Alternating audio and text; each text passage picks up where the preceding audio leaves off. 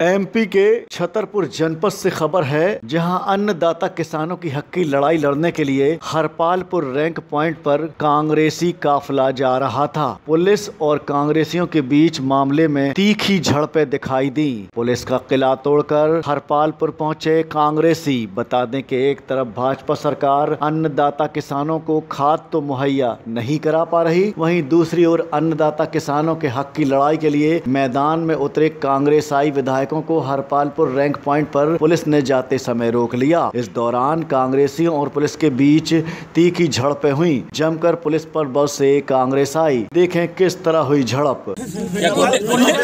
गुंडे हैं हम। नहीं हम गुंडे हैं। नहीं हम क्या हैं? हम हैं क्या? हम गुंडे हैं। हमें हम हम लोग क्या जनप्रतिनिधि हैं भारत प्रधान जी जनप्रतिनिधि हैं हम लोग। मेरा विधानसभा क्षेत्र है में जाऊँगा। व्यवधान उत्पन्न आप लोग कर रहे हैं। कर रहे हो आप? की स्थिति आप बना रहे हैं। वहाँ जनता ने प्रदर्शन करना चाहते थे हम यहाँ आए और जो छतरपुर का अधिकार है जो छतरपुर की किसानों की खाद है उसको अन्य जगह से भेजने की प्रयास कर रहे हैं। उसको वापस दिया जाए यहीं दिया जाए इसलिए यहाँ बैठे ऐसा प्रशासन क्यों कर रही है? जो उनसे जाके पूछे शासन और प्रशासन से कि वो क्यों ऐसा दुर्व्यवहार पड़ोसी ज़िले से कर रहे हैं? पड़ोसी ज़िले में भी उपचुनाव है क्या आपको लगता है कि इस कारण से वहाँ खाद यहाँ की खाद वहाँ भेज रहे हैं? हो सकता है ये पुलिस की गुंडागिर्दी देख लो। ये सामने है पुलिस की गुंडागिर्दी जिला प्रशासन की गुंडागिर्दी। फ़ोटो ले लीजिए। और ये इस तरह से यहाँ हरकत कर रहे हैं। ये अगर पुलिस के लिए रास्ता दे दीजिए बाइट लेते रहिए। पुलिस के लिए रास्ता हाँ, दे दीजिए। एंबुलेंस निकाल दीजिए बगल से एंबुलेंस निकाल दीजिए एंबुलेंस बगल से निकाल दीजिए एंबुलेंस निकाल दीजिए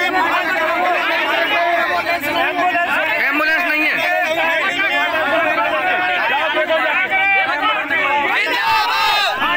ये देख रहे हैं आप तमाशा हो रहा है जो। ये तमाशा है वहाँ रेलवे फाटक पीछे बंद है पुलिस प्रशासन झूठ बोल रहा है कि यहाँ पर एंबुलेंस निकल रही है। ये पुलिस प्रशासन और जिला प्रशासन की गुंडागिर्दी है। किसानों के साथ धोखा है। छतरपुर का हक हम केवल ये मांगते हैं कि छतरपुर की खाद जो सत्ताईस सौ टन आई है छतरपुर के किसानों को मिले। केवल इतनी मांग हमारी है। यहाँ पर ये ज़बरदस्ती की गुंडागिर्दी हो रही है पुलिस प्रशासन के द्वारा।